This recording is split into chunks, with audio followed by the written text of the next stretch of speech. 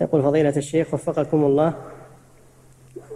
كان عندنا مدرس يقرئنا القرآن وهو أشعري وكان يقول لنا إن الصلاة على النبي صلى الله عليه وسلم والمداومة على ذلك شفاء من الأمراض. ثم ذكر لنا حوادث لمصابين بالسرطان وأنهم داوموا على الصلاة على النبي صلى الله عليه وسلم فجعلوا لهم أورادا يومية كمائة مرة مثلا أو أكثر.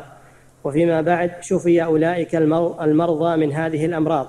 فهل هذه الطريقة من أسباب الشفاء إذا استبدلت بالدعاء وعرض الحاجة على الله؟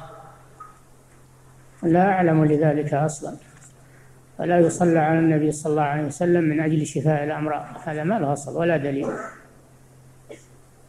ولكن يصلى على النبي صلى الله عليه وسلم لما نص عليه الرسول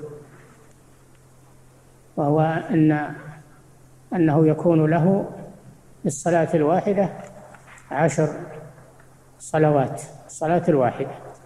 هذا الذي ورد. أما أن يجي واحد يزيد على هذا من عنده فلا يقبل هذا. نعم.